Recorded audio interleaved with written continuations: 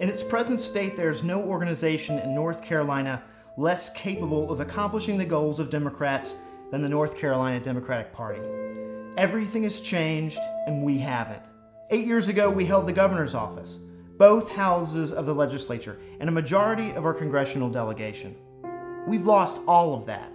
Meanwhile, we make small changes to the plan of organization without ever realizing that election law and campaign finance regulations have completely and permanently altered the role of the party in the political landscape. We can't compete with C4s and C3s for donations and volunteers and survive in this environment. We've got to explain to people what we do well and eliminate absolutely everything else from our goals. NCDP is the perpetual statewide campaign for the election of Democrats. We are a campaign. Everything we do needs to be focused on building a permanent statewide field operation. Everything else is already being done better by someone else. The size of our party is one of its strengths, but the organization is too big.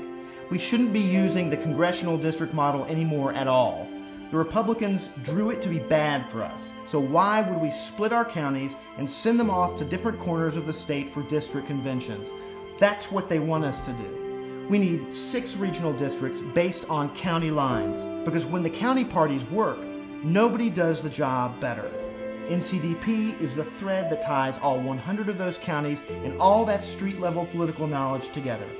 That's valuable. That's what we do best. And donors will pay us to do it.